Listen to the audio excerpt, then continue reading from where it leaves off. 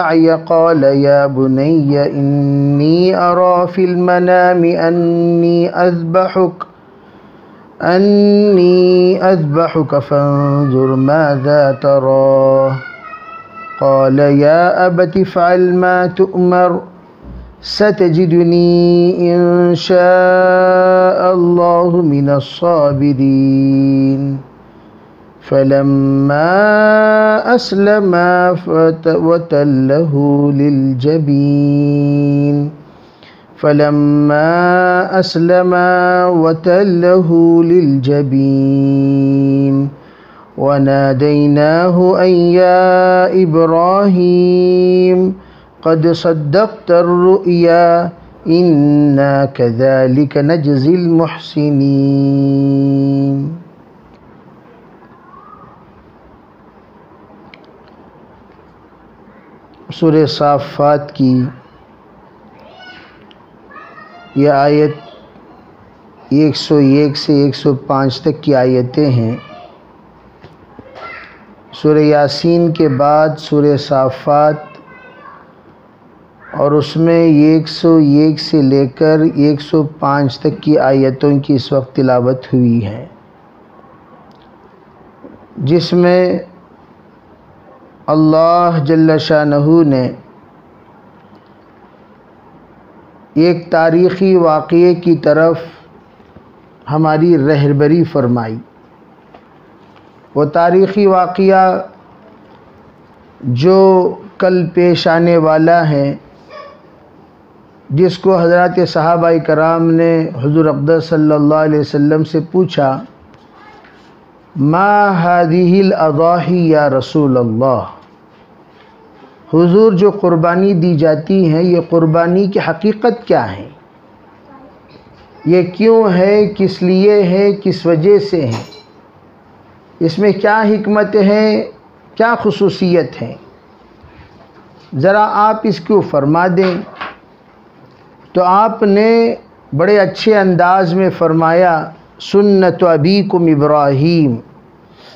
क़ुरबानी ये इब्राहीम अलैहिस्सलात वसलाम की सुन्नत है। और इब्राहीम अलैहिस्सलाम कौन है? अभी कुम जो तुम्हारे जद्द अमजद हैं, वालिद हैं, जिनकी बरकत से अल्लाह ताला ने तुम्हें अम्बिया अता फ़रमाए और जिनकी बरकत से मैं ख़ुद आया हुआ हूँ। और एक हदीस में ख़ुद आप सलात वसलाम ने अपने सिलसिले में फ़रमाया, अन दावत इब्राहीम। मैं ख़ुद इब्राहीम वसलाम की दुआ का नतीजा हूँ। मैं यूँ ही नहीं। अगर मैं मक्के में आया हूँ तो मक्तुलमकरमा में बहुत बड़ी क़ुरबानी देने के बाद हत इब्राहीम वसलाम ने दुआ मांगी थी वब असफ़ी रसूल मिन उसकी बरकत से अल्लाह ने मुझे मक्तुलमकरमा में मबूस फरमाया।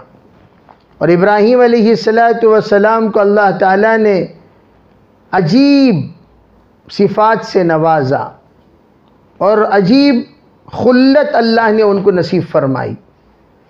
तमाम अम्बिया वसलाम को अल्लाह ने एक खसूसियत दी। हज़रत इब्राहीम को जो खसूसियत दी वो दोस्ती की। और दोस्ती तीन तरह की होती है। एक जानी होती है, एक माली होती है, एक नानी होती है। ये तीनों तरह की दोस्तियाँ आपको हमेशा हर मोड़ पर नज़र आएँगी। अल्लाह ने जो दोस्त बनाया और इब्राहिम इब्राहिम सलाम ने अल्लाह से जो ताल्लुक़ रखा, वो ताल्लुक़ और वो रब्त, वो नस्बत कैसी नस्बत है, उसको आज़माने के लिए अल्लाह ने मुख्तलिफ़ एतबार से हत इब्राहिम को आज़माया। कमो पेश, अगर आप अंदाज़ा लगाएँ तो बड़ी बड़ी आजमाइशें, ये तो मरूफ हैं, मशहूर हैं। छोटी छोटी आजमाइशों का अगर हिसाब लगाया जाए, वो सत्तर से जायद आजमाइशें हो जाती हैं। हर मोड़ पर, बल्कि बचपन ही से इब्राहिम आजमाइश में रहे। उसको भी अल्लाह ने कुरान में नकल फरमाया। तो हत इब्राहीम वसलाम जिस वक्त बचपन के वाक़े से बेजार होकर और वो मुस्तकिल अपना एक रास्ता इख्तियार करते हुए जब निकल पड़े, उसका ज़िक्र अल्लाह ताला ने कुरान पाक में फ़रमाया, वक़ाल इन्नी ज़ाहिबन इला रब्बी सयाहदीन। हज़रत ने फरमाया कि मैं जा रहा हूँ, बस। तुम सब लोगों को छोड़कर मैं जा रहा हूँ। मेरा परवरदिगार मुझे रास्ता बताने वाला। तो हत इब्राहीम सलाम तमाम लोगों के सत जो कुछ सितम थे, उन तमाम सितम को बर्दाश्त करने के बाद ने फरमाया, अब मैं जा रहा हूँ। उलमा फरमाते हैं, जब नाकाबिल बर्दाश्त तकलीफ़ किसी को दी जाती है तो हिजरत का हुक्म दे दिया जाता है। अब आप यहाँ मत रहिए ईमान की हिफाजत के लिए आमाल की हिफाजत के लिए ज़ात की हिफाजत के लिए जान की हिफाजत के लिए आप जा सकते हैं निकल सकते हैं। चुनाचे इब्राहिम ने फरमाया कहाँ जा रहे हैं? मैं कहाँ जा रहा हूँ वो तो तय नहीं है। सैह दीन परवर दिगार मेरी रास मे, मेरी रहबरी करेगा। परवर दिगार मुझे रास्ता बताएगा। चुनाचे अल्लाह ताला ने रास्ता बताया। चुना चलते चलते हत इब्राहिम ने ये फरमाया दे अल्लाह मैं अकेला तने तनहा सहते सहते सहते तनहा हो चुका हूँ अब मुझे एक परिवार बना दीजिए एक ख़ानदान बना दीजिए एक घर बसा दीजिए इसका मैं आपसे मुतालबा करता हूँ चुनाचे इब्राहिम अलैहिस्सलाम ने दुआ मांगी रब हबली मिन या अल्लाह आप मुझे एक नेक साल औलाद अता फरमा दीजिए फरमाते हैं नेक साले औलाद इब्राहिम अलैहिस्सलाम मांगे क्यों? क्या वजह है? फरमाए, लोग मुख्तलिफ़ एतबार से दुआ दुआ में भी अगराज वाली दुआएँ बहुत मांगते हैं। इखलास वाली दुआएँ कम होती हैं, अगराज वाली दुआएँ ज़्यादा होती हैं। अगर आप यूँ कहें, मांगिए क्या मांगना है? तो आप देखिए, लोग अपने दिल की बात क्या क्या मांगते हैं?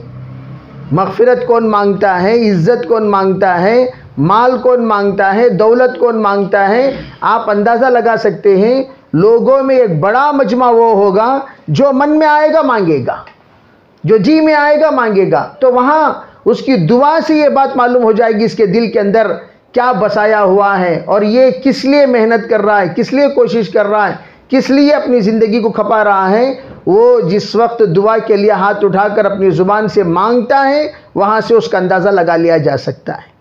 लेकिन इब्राहिम ने दुआ क्यों मांगी? अल्लाह मुझे साल औलाद दे दे। इसलिए मांगी कि मेरे बाद भी मेरी मेहनत जारी रहे। मेरे बाद मेरी कोशिश जारी रहे। मेरे बाद ये ये जुहद, ये मेहनत, ये ये ये जो कुछ मैं इन लोगों के साथ मुकाबला कर रहा हूँ, ये मेरे हद तक महदूद ना हो जाए। मेरे बाद भी। और दूसरी बात, या अल्लाह अगर तू मुझे औलाद देगा और देकर यूँ कह देगा, तू ही तरबियत कर ले। तो मैं तरबियत करते करते थक जाऊँगा, परवरदिगार। इसलिए जब औलाद देने का आप फैसला कर दें, नेक साले दे दीजिए। वो बचपन ही से नेक साले हो। इसलिए कहते हैं, जिनको औलाद नहीं, वो तीन सौ तेरह मरतबा, सलातुल हाजत पढ़ने के बाद रात को सजदे में जाएँ और ये दुआ पढ़ें रब हबली मिन सालहीन। अल्लाह औलाद देगा, नेक साले देगा।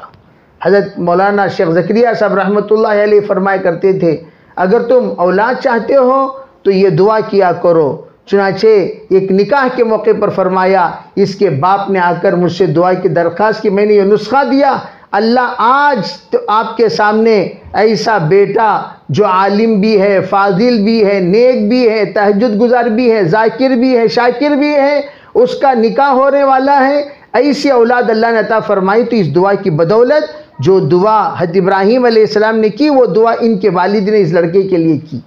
रब्बी हबली मिन तो अल्लाह ताला फरमाते हैं, हम आपको दुआ कबूल कर लिए फ़बशर ना हो हमने उनको बशारत दी, बी ग़ुलामिन हलीम, हिल्म वाला, सब्र वाला तहमुल वाला, बर्दाश्त वाला हर चीज़ को सहकर ज़िंदगी गुजारने वाला और अल्लाह के अहकाम के ताबेदार, हर हाल में होने वाला, ऐसा बच्चा हमने उनको अता फरमाया। अब लंबा वा किस्सा में उस उन तमाम किस्सों की तरफ़ जाना नहीं चाहता। कुरान पाक की इन आयतों का तर्जुमा करना चाहता हूँ जो कुरान पाक में मौजूद है। फ़लम बलगा। ख़वातीन भी कुरान पाक उठा लें ताकि उनको देखने में आसानी हो। फ़लम बलगा माहुसाया जब वो बच्चा हज़रत इब्राहीम सलाम के साथ मेहनत का काबिल बन गया। साई कहते हैं मेहनत को। साया मेहनत का काबिल बन गया। क्या मतलब? हाथ बटाने लगा। अब जैसे हम लोग बच्चे छोटे छोटे होते हैं, हम उनको उठा लेकर फिरते हैं, एक उम्र के बच्चे आते हैं तो हम क्या कहते हैं? बच्चे, भाई बेटा ज़रा वो गिलास लाओ। गिलास लाता है। बेटा वो जूते सही करो। जूते सही करता है। बेटा ज़रा झाड़ू लाओ, झाड़ू लाता है। बेटा ज़रा प्लेट लाओ प्लेट लाता है। बेटा दस्तरखान बिछाओ तो गोया हाथ बटाने लगा। कोशिश में साथ देने लगा, मेहनत में साथ देने लगा। ऐसी उम्र को बच्चा पहुँच चुका कि बाप कहे तो वो सुने। बाप की जिम्मेदारियों को निभाने वाला बन जाए। बड़ी बड़ी नहीं छोटी छोटी छोटी छोटी जिम्मेदारियाँ। अभी वो भी तो बहुत बड़ी चीज़ है। जैसे भाई चाबी आप छोड़कर नीचे उतर गए। तो आपने कहा, बेटा ज़रा चाबी ले आना। तो बेटे ने आपको चाबी ले तो गोया, आप यहाँ से वहाँ जाते, फिर वहाँ से चाबी लेकर नीचे उतरते, वो आपके बेटे ने आसान कर दिया। गोया, आपकी मेहनत में साथ देने वाला बन गया। तो बच्चा जब ये उम्र का हो गया तो उस वक्त बच्चे की बड़ी कदरदानी, बेटा, देखो, बच्चा है, इस वास्ते ज़रा काम आसान हो गया, वरना दूध दूध के लिए भी मुझी को जाना जाना था। कोतमीर के लिए भी मुझी को जाना था पंडू के लिए भी मुझी को जाना था। अब बच्चे, माशाल्लाह, आ गए। अब बच्चे, अब बेटा ज़रा दूध ले आना, बेटा ज़रा फला ले आना, फला। बच्चे अब अब माशाल्लाह घर का आधा काम करने लगे। तो इसको सही कहते और ऐसे बच्चे बहुत कदर, उस बच्चों की बड़ी कदरदानी होती है। हर दिन, हर खिदमत पर दिल से माँ बाप की दुआएँ निकलती हैं। देखो, बच्चा कितनी मेहनत से लेकर आया। और बच्चे के दिल में कोई गर्ज नहीं होता। अरबे मुलाजिम काम करता है तो उसके दिल में तनख्वाह होती है। मैं करूँगा तो तनख्वाह। बच्चे के दिल में क्या है बेचारे के? कुछ नहीं माँ बाप की खिदमत खालिश। वो बच्चा करता है करता है करता है। जितना काम बोलो, बच्चे करते रहते हैं। और वो बच्चे बड़े बड़े याद आते हैं। अब उस उम्र को जब पहुँच गए तो बार बार इब्राहिम इस्लाम ने ख्वाब देखा। कौल, या बुनैया, अब बच्चा बातचीत के काबिल भी हो गया। समझदार हो गया। कुछ कहें तो वो सुन सम, समझने वाला बन गया। अब ये कह रहे हैं वो सुन रहा है। सुन रहा है जवाब समझदारी से दे रहा है। ऐसी उम्र को बच्चा पहुँच गया। गोया मुकालमे के काबिल हो गया। तो हज़रत इब्राहीम सलाम ने उस बच्चे से यूँ कहा। उलमा कहती है कि ये कितनी साल? फरमाया सात साल से लेकर चौदह साल तक के दरमियान की उम्र। ये समझदारी इसलिए अल्लाह के रसूल वसल्लम ने मुर औलाद को बिंदा सबा, सात साल की उम्र में अपने बच्चों को नमाज़ का हुक्म देने को कहा, इसलिए कि वो समझदार हो गए हैं। नमाज़ के लिए हुक्म के, अगर दस साल के हो गए, ना पढ़ने पर मारो, इसलिए कि और मेच्योर हो चुके हैं। अगर दस साल के बाद नहीं पढ़ रहे हैं तो मस्ती से नहीं पढ़ रहे हैं। हाँ? वो उनके अंदर ये शरारत से नहीं पढ़ रहे हैं, शर से नहीं पढ़ रहे हैं तो उनको, उनकी पिटाई करो कब? जब दस साल के हो जाए। तो दस साल से पहले बच्चे ज़रा बचपना उनके अंदर गालिब रहता है। समझदारी उन पर गालिब दस साल की उम्र में होती है। इसलिए आपने दस साल की उम्र में सख्ती करने को कहा, सात साल की उम्र में नहीं। तो ये ये हज़रत इस्माईल इस्लाम ये भी माशाल्लाह उसी बचपन की उम्र में जिस वक्त समझदार हो गए हत इब्राहिम ने फरमाया, बेटा, इन्नी, मैं हमेशा एक बात कहा करता हूँ कि कुरान पाक में जो मद है, मद, उन मद, वो उन मद का भी तर्जुमा है, उन मद का भी मफहूम है। मद यूँ ही नहीं है, जैसे कि हम कहते हैं, अरे भाई, आप ये कितने में ख़रीदे? अरे भाई, ये ज़रा कीमती है। अगर आपने दस रुपये की चीज़ पचास रुपये में ख़रीदी, अरे भाई, ये तो बहुत महँगी पड़ी, बहुत। आपने बहुत कहा तो बहुत, हालाँकि वाह वहाँ नहीं है। बाहाता बहुत। आपने कहा बहुत महँगी पड़ी। अब बहुत जो आप कह रहे हैं लंबा घसीट के क्यों? यानी उसकी कीमत की हद से ज़्यादा इजाफे की तरफ़ इशारा है। तो आपने भी तो लंबा घसीटा। तो हम भी कहते अरे बहुत खा लिया भाई बहुत खा लिया। हाँ, बहुत परेशानी हुई। जो जो हम जो कहते बहुत दूर तो जहाँ जहाँ हम लोग मद लगाते हैं, ये मद किस बात की तरफ़ अलामत है? भाई ये ये इस बात की तरफ़ अलामत के जो लिमिटेड है, वो लिमिटेड से भी ज़्यादा हो गया। ज़्यादा ज़्यादा इसको, भाई दस रुपये की चीज़ बीस रुपये को ख़रीदते, लेकिन तुमने पचास रुपये को ख़रीदी तो अच्छे ज़्यादा कीमत होगी थी, पाँच गुना ज़्यादा। तो इस पर आपने बहुत को लगा दिया। इसी तरह फरमाती है, जो इन्नी है ये आकर बार बार देखने की तरफ़ भी इशारा है।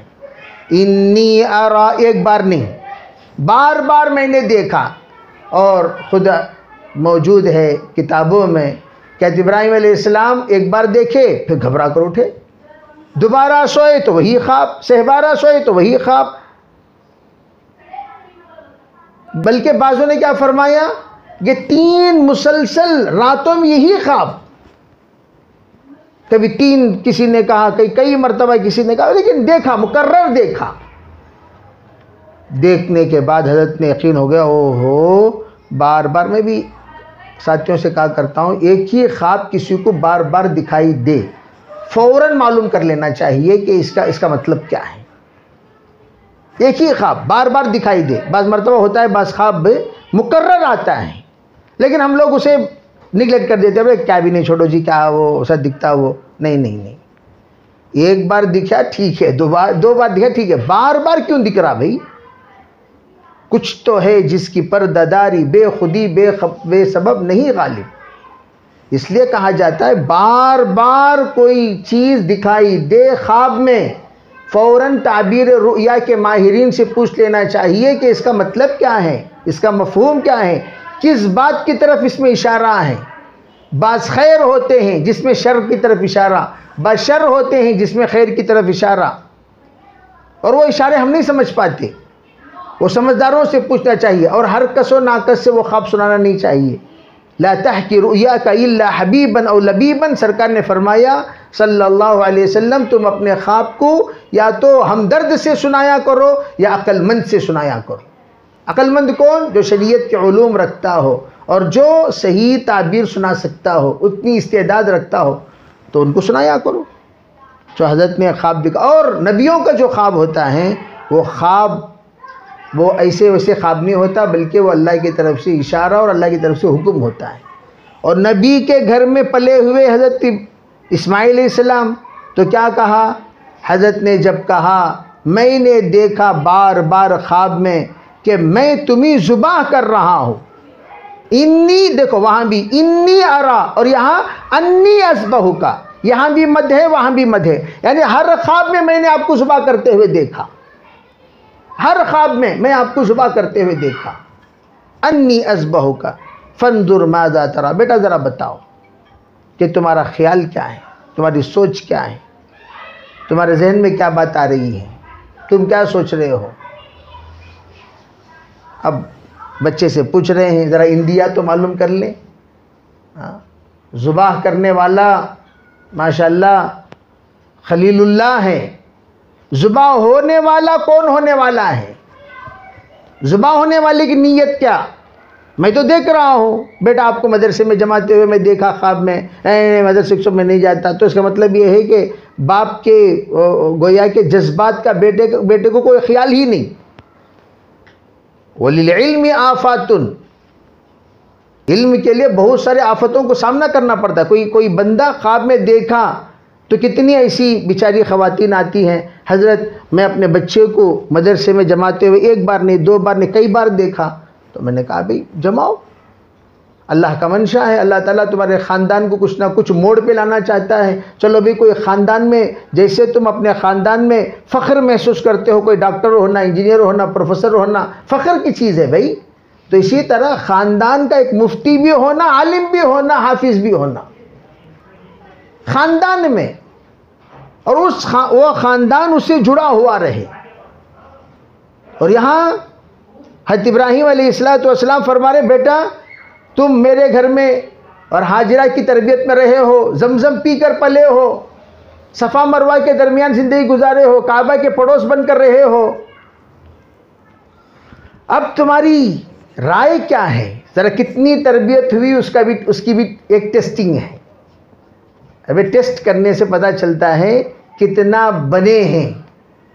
तो अब टेस्टिंग और दुआ से ही जब अल्लाह ने, अल्लाह से ये मांगा और अल्लाह ने भी कह दिया फ़बशर ना हो भी ग़ुलामिन हलीम. हम आपको बुर्दबार बंदा देंगे, बुर्दबार लड़का देंगे, इसे वैसे लड़का नहीं। अब वो बुरदबारी किस हद तक पहुँच, पहुँची हुई है, उसका इम्तिहान। नौजबिल्ला बुरदबार है कि नहीं है? नहीं। नहीं नहीं, मेरा बेटा जिस, इस काबिल बन गया, जैसे फरमाते हैं, जैसे कुर्बानी के लिए उम्र चाहिए। बकरी हो तो वो एक साल की हो। भाई बैल है, भैंस है तो दो साल। ऊँट है तो पाँच साल। यानी तो बकरी है छः महीने, लेकिन एक साल की तरह लगे। क्या मतलब सलाहियत हो एक साल की? तो इसी बात को मैं मद्देनज़र रखकर कहता हूँ, बहुत सारे लोग कहते हैं, हज़रत, हम लोग सर्टिफिकेट बनाते हैं, झूठी झूठी। मैं मैं उनसे यूँ कहता हूँ, देखो भाई, हिंदुस्तान के अहवाल के अतबार से अगर तुम इतनी सलाहियत रखते हो दो साल एक्सपीरियंस वाले की सलाहियत तुम रखते हो तो सर्टिफिकेट बनाना तुम्हारे लिए जायज़ है। तुम्हारे अंदर सलाहियत ही नहीं है। पाँच लोग दस दस साल आ, ट्रेनिंग में होने के बावजूद दो साल वाले के मुकाबला नहीं कर सकते। क्यों? उनका दिमाग कमज़ोर रहता है या जज्बा कमज़ोर रहता है शौक़ कमज़ोर रहता है। बहुत सारे डॉक्टर कमांडर बनने के भी काबिल नहीं है। इंजेक्शन लगाते हैं तड़पू सी डालते थे उसे क्या कहते हैं? वैक्सीनेशन इंजेक्शन लगाते बच्चों को भी। तो बाज बाज बच्चों को लगाने के बाद वो लग जिस जगह पर लगाए वो जगह पर ऑपरेशन करने की नौबत पड़ गई। ऐसे खतरनाक लगा दिया इंजेक्शन उसने। आड़ा टेढ़ा। अरे भाई लेकिन लगाया हुआ है बड़ा बोर्ड तो अब इसीलिए मौत तक डॉक्टर क्या कहते हैं? प्रैक्टिस कहाँ चल रही है? तो पता है चला मौत तक वो प्रैक्टिस नहीं होते। प्रैक्टिस हर पेशेंट पर नई नए प्रैक्टिस करते रहते हैं। तो उनकी सर्विस है वो बहरहाल बहुत अच्छी बात है। तो यहाँ हज़रत ने ये देखा कि मेरा बे, बेटे को जो गुलामिन हलीम कहा कुर्बानी के मेरा बेटा काबिल हुआ कि नहीं? ज़रा टेस्ट तो बाप के उस सवाल का अजीब व गरीब जवाब दिया। फरमाया कौलया अबती फ़लमा तो उमर पहला ही जवाब, अजीब, आरिफाना। का आपने जो ख्वाब में देखा, वो ख्वाब नहीं है अबू जान, अल्लाह का हुक्म है। बता रहे हैं ख्वाब। अबू ने तो यूँ कहा नहीं कि अब अल्लाह ने मुझे हुक्म दिया। बाप ने यूँ कहा कि मैंने ख्वाब में देखा, उन्होंने नहीं कहा कि अल्लाह ने मुझे हुक्म दिया। बेटा क्या कह रहा है? नबी, आप नबी हैं और नबी का जो ख्वाब होता है वो अल्लाह की तरफ़ से वही होता है और वही जो हो, होती है वो अल्लाह का हुक्म होता है। तो वो उस नतीजे को निकाल कर हज़रत इस्माइल फरमा रहे हैं या अब अतिफ़ालमा तो उमर जो हुक्म आपको ख्वाब में दिया गया वो काम फ़ौरन कीजिए। अल्लाह के हुक्म में डिले नहीं करना चाहिए।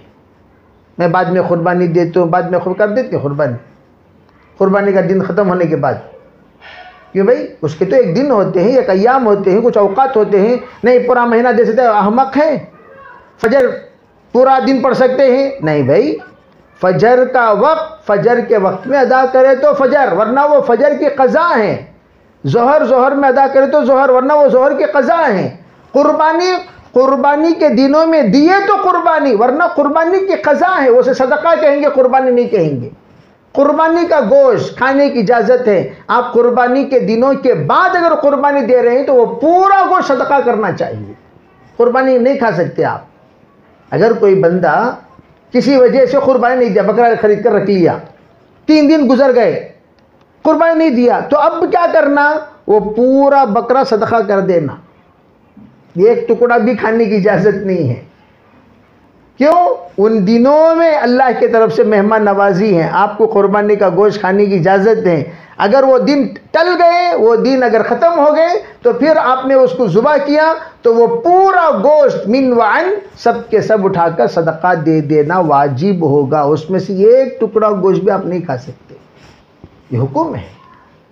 तो हज़रत फरमा, हज़रत, आपने ख्वाब में देखा हाँ वक्त ख़त्म होने से पहले जल्दी कर गुजरिए। इफ़ल मा तुमर और आप मेरे बारे में फ़िक्र कर रहे हैं कि मैं सतजिदुनी जब जब अल्लाह आपको हुक्म दे और जब जब वो हुक्म मुझ पर आप आजमाएँगे सतजुदनी यहाँ नी में भी मद है।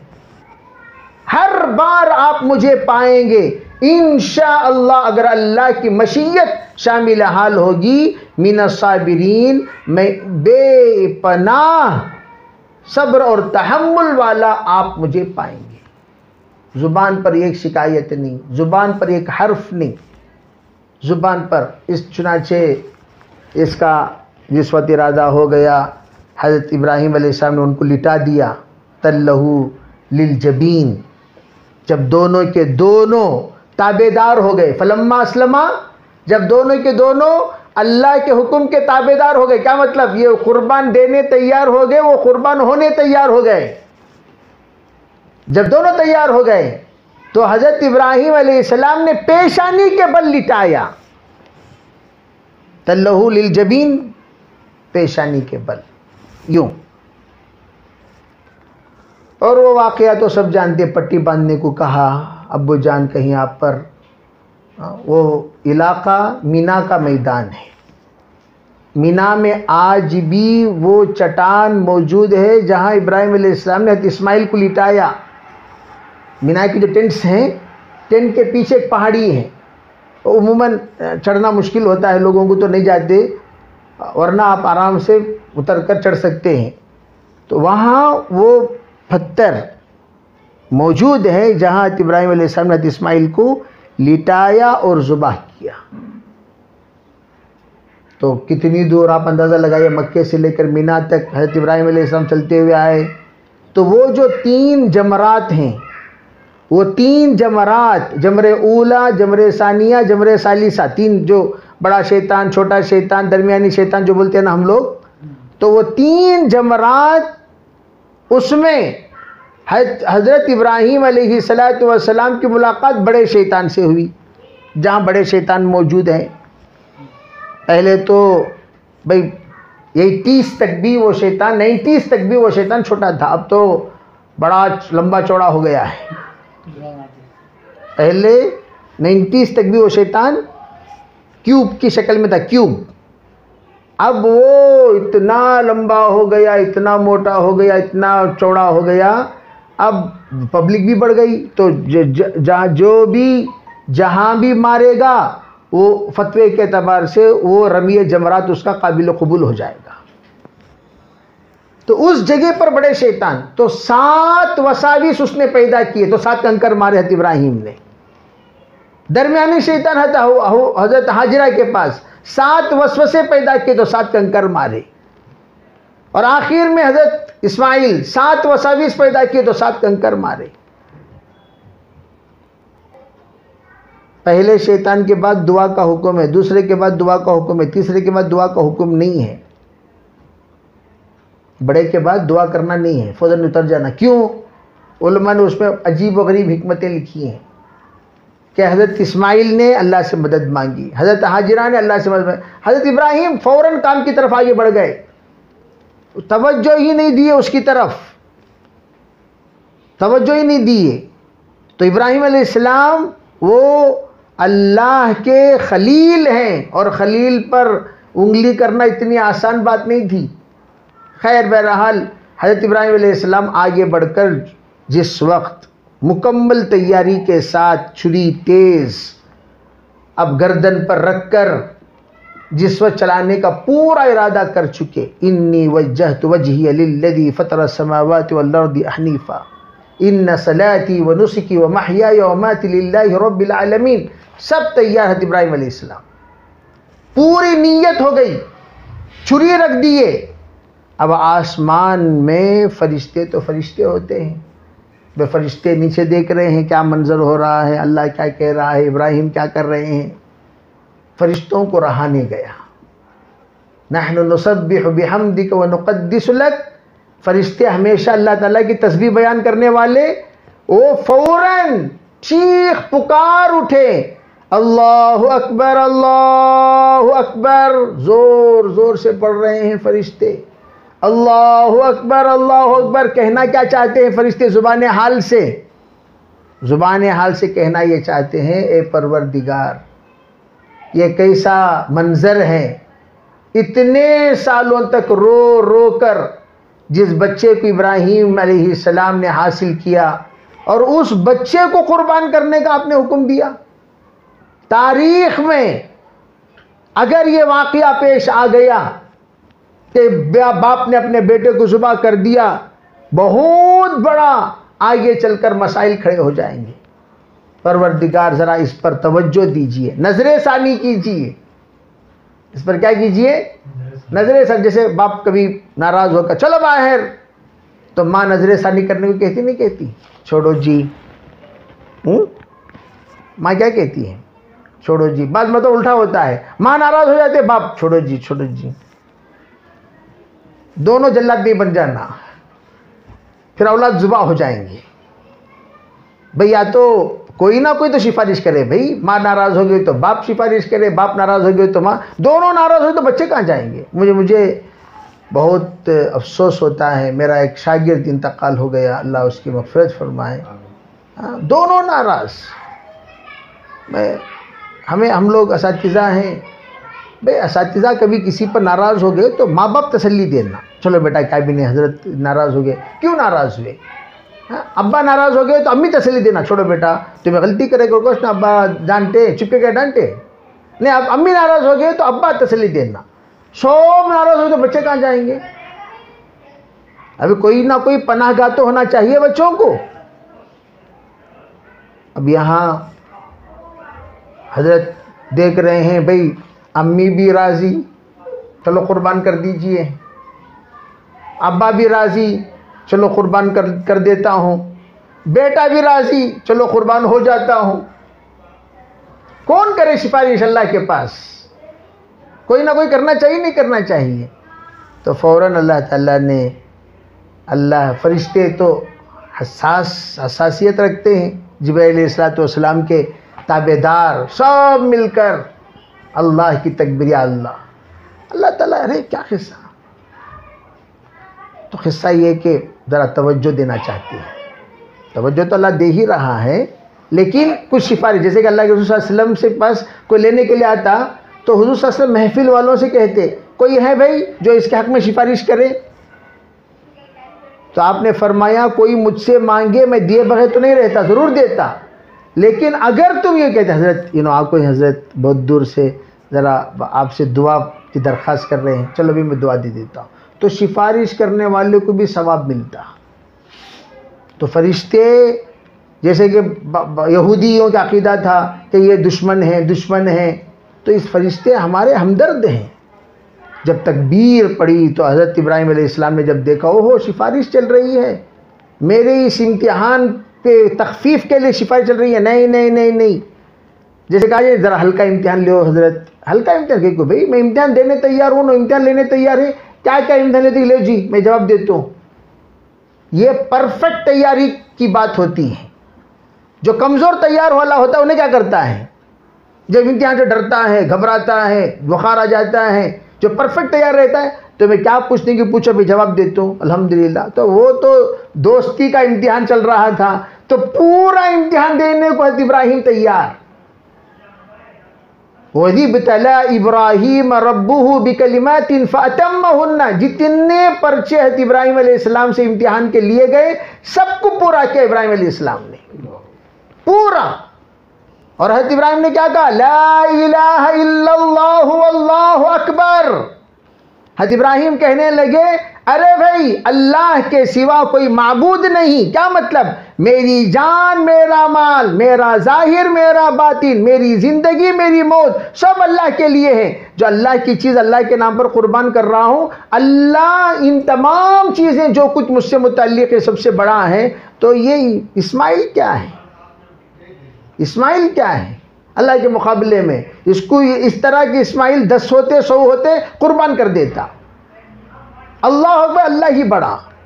हद इस्माइल कहने लगे, अल्लाह अकबर, बिल्कुल सही आपने फरमाया, अल्लाह सबसे बड़ा है, मैं खुशकिस्मत हूँ कि अल्लाह ने आपके इम्तिहान के लिए मुझे कबूल फरमा लिया जुबा होने को। वलील्लाहिल हमद तमाम तारीफ़ अल्लाह के लिए, जिसने मुझे कुर्बान होने को कबूल कर लिया। वरना बहुत सारे इब्राहिम इस्लाम के तो इसाक भी थे। इसाक को कुर्बान करने को कहता। हाँ लेकिन मुझे कुर्बान करने को अल्लाह ने कहा, वो भी बच्चा देखकर इतने दिनों के बाद तो मैं खुश नसीब हुई कि नहीं? तो खुश नसीबी का इजहार करते हुए वलीलाहमद कहा। अल्लाह ने उसी वक्त मदद फरमाई दुम्बे को भेजा जन्नत से। तो हत इब्राहिम अलैहिस्सलाम लेकर ये करे नहीं। हज़रत जबरील ने उनको हटाकर दुम्बा को लिटाया। गोया वो, वो अज़म मुसम्मम में अपने छुरी क्या कर रहे हैं? चला ही रहे हैं। उनके अजाई में कोई कमी नहीं आई। अल्लाह ने हज़रत इस्माइल को हटाकर दुम्बा को लिटाया मेंढे को और मेंढे को मेंढे पर छुरी चल गई। और इसी नीयत से चली हज़रत इब्राहिम इस्लाम की कि मेरा बेटा क्या हो रहा है? जुबा हो रहा है। खैर ये अल्लाह के तरफ़ से एक इम्तिहान हज़रत इब्राहिम ने पास किया। तो जो ही पास किया तो हमने उस वक्त पुकारा व नादईनाया इब्राहिम। हमने कहा, ओ इब्राहिम, कद सदफ्तर रुया, आपने अपने ख्वाब को सच करके बताया। इन कदलिक नजजिल मोहसिन हम इसी तरह एहसान करने वालों को अजर दिया करते हैं। गोया इस कुर्बानी के बाद अल्लाह ने हत इब्राहिम के नस्ल को नबूवत के लिए कबूल फरमाया, बासठ हज़ार अम्बिया हत इब्राहिम इस्लाम के नस्ल में पैदा हुए। कितने हज़ार? सिक्सटी टू थाउज़ेंड, कोई मामूली बात नहीं। और उसके बाद हज़रत इसाक और हज़रत इब्राहिम, हज़रत इस्माइल में फ़र्क क्या? इधर भी नबी आए, उधर भी नबी आए। लेकिन सरताज अम्बिया सैदुल अम्बिया इमामुल मुरसलिन, हज़रत जनाब मोहम्मद रसूलुल्लाह का जब भेजने का वक्त नंबर आया तो इसहाकी रहेंगे या इस्माइली रहेंगे? तो अल्लाह ने हत इस्माईल सलाम को जो कुर्बानी के लिए तैयार करवाया, वो जो मंज़र है कुर्बानी का, उस मंज़र की बदौलत हज़रत इमामबिया को जिस वक्त आने का नंबर आया तो अल्लाह ने इस्माईल के नस्ल को कबूल फरमाया। और यही वाक़ बेआनी ही हज़रत नबी सलाम के वालिद मोहतरम हज़रत अब्दुल्ला मन्नत मानी थी हज़रत ख्वाजा अब्दुल मुत्तलिब ने। ख्वाजा अब्दुल मुत्तलिब ने मन्नत मानी थी कि जो बच्चा दसवां होगा, वो अल्लाह के रास्ते में जुबा कर दूँगा। वो बड़े प्यारे, बड़े लाडीले, बड़े खूबसूरत, बड़े हसीन जमील हज अब्दुल्ला जब पैदा हुए तो वे कुर्बान करने का टाइम आ गया तो तैयार हो गए ख्वाजा अब्दुल मुतलब इसको तो कुर्बान कर देना चाहिए। अना इब्न जबी वबन जबी फरमाया, मैं तो जबी का बेटा जबी का बेटा हूँ। तो उस वक्त के राहिबों ने कहा जो उस वक्त दीन के जो जिम्मेदार थे कहा भाई इतना अच्छा बेटे को क्यों जुबा कर रहे हैं? क्या करना है इसके मुकाबले में? इसके मुकाबले में आ, एक दियत ये एक इंसान की जो दियत है वो दस ऊँट है। दस ऊँट जुबा कीजिए। कुरा डालिए। कुरा में अब्दुल्ला का नाम आ रहा है या ऊँट का नाम आ रहा है? ऊँट का आ गया तो ऊँट जुबा कर दीजिए। अब्दुल्ला का आ रहा है फिर कुरा डालो फिर कुरा डालो फिर कुरा डालो। तो जब कुरा डाला गया, नौ मरतबा हज़रत अब्दुल्ला का नाम ही आया। कुरे में नौ दस दस ऊँट बढ़ते जा रहे हैं। दस दस ऊँट बढ़ते जा रहे हैं दस दस ऊँट बढ़ते जा रहे हैं। आखिर में जब सौ ऊँट हो गए, तब ऊँट का नंबर आया, दसवें मरतबा ऊँट का नंबर आया तो दस। वो दसवें नंबर ऊँट तो वो भी दस हो गए तो नाइन्टी प्लस टेन, हंड्रेड तो सौ ऊँटों को हज़रत अब्दुल्ला के जान के बदले में जुबाह कर दिए गए। इसी सुन्नत को सरकार ने दोहराया। हज के मौके पर हुजूर ने भी सौ ऊँट जुबा फरमाए। सौ ऊँट तो तिरसठ, गोया अपनी हर उम्र के बदले में आपने तिरसठ ऊँट जुबा कर दिए। और उम्मत को बता दिया कि होना तो ये चाहिए कि हम जितने सा जब अल्लाह ताला माल माल दे दिया तो जब से हम होश में आए, उस वक्त से कम अज़ कम, भाई, दस साल में कुर्बानी दिया, अब अल्लाह उसद दिया है, चलो दस साल की कुर्बानी दे दो। पिछले ज़माने की कुर्बानी अपने नाम से देना, ये हुजूर की सुन्नत है। तो आपने तिरसठ ऊँट कुर्बान कर दिए, और बकिया ऊँटों को किसके हवाले? उलमा फरमाते हैं, जो हज़रत अली रज़ी अल्लाह तु ने बकिया जो ऊँट जुबा किए, ये बताने के लिए हर खलीफा के बदले में भी हुजूर ने कुर्बान दे दी। लो भाई, खिलाफत उला खिलाफत सानिया, खिलाफत सालिसा, खिलाफत राबिया, हज़रत सिद्दीक अकबर, उमर, उस्मान, अली, इनके ज़माने के बदले में ऊँट जुबा करो। तो ये पूरे मिलाए तो तीस पर सात साल होते हैं। कितने साल?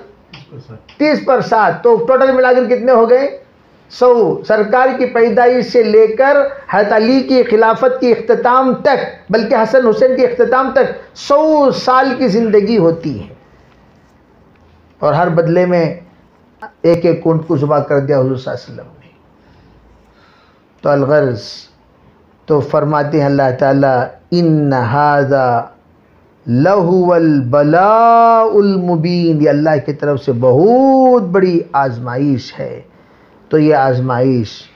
तो अल्लाह रबुल्ज़त ने उसके बाद क्या फरमाते हैं? व फ़दई नाहू अज़ीम हमने उसके बदले में एक अजीम जानवर फिदिये में हमने उनको अता फरमा दी फिदिये में वही वो जो बकरा आया और वही फिदिया था। फिदिया आने के बाद अल्लाह रबुल्ज़त ने हमें अता फरमाया। फिर इस कुर्बानी के बदौलत नतीजा क्या निकला? आगे फरमा रहे व तरक ना ही फिल आखिरिन. फिर उसके बाद हमने उन सब लोग जो हर साल अपने अपने बच्चे को कुर्बान करना था, सब के तरफ़ से इस कुर्बानी को कबूल फरमा कर अल्लाह ने सब पर से कुर्बानी का हुक्म हटा दिया और वो हुक्म जानवर पर मुंतकिल हो गया। सलाम अला इब्राहिम।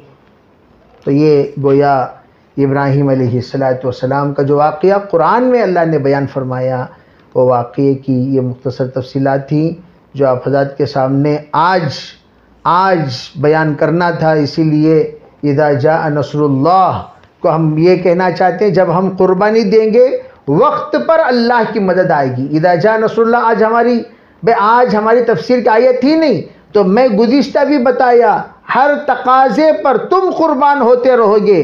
तुम्हारे तकाजे पर अल्लाह की मददें उतरती रहीं।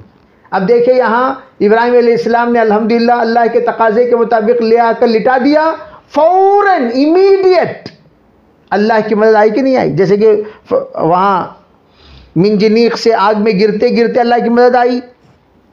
हाँ? हमने हुक्म दिया आग को, या ना रुकूनी बर्दों व सलाम इब्राहिम। तो इसी तरह यहाँ चूरी चलाते चलाते अल्लाह की मदद आ गई। तो अल्लाह ताला ने मेंढे को लाकर लिटा दिया। तो ये सब तो अल्लाह के तकाजे पर अल्लाह के हुक्म पर जब हम हर हमेशा आमदा होते रहेंगे आ, और हर हमेशा हम लोग इन उसके ताबेदार होते रहेंगे अल्लाह की ज़ात से उम्मीद है जब भी हमारा तकाजा आएगा इन अल्लाह की मदद हमारे साथ शामिल हाल रहेगी। इसी को इदा जा नसरुल्लाह में अल्लाह ताला ने बताया। खैर इन मज़ीद तफसीलात आइंदा अफराद के सामने अर्ज़ किया जाएगा। अल्लाह ताला से दुआ है कि अल्लाह ताला हम सबको अमल की तोफ़ी अता फ़रमाए।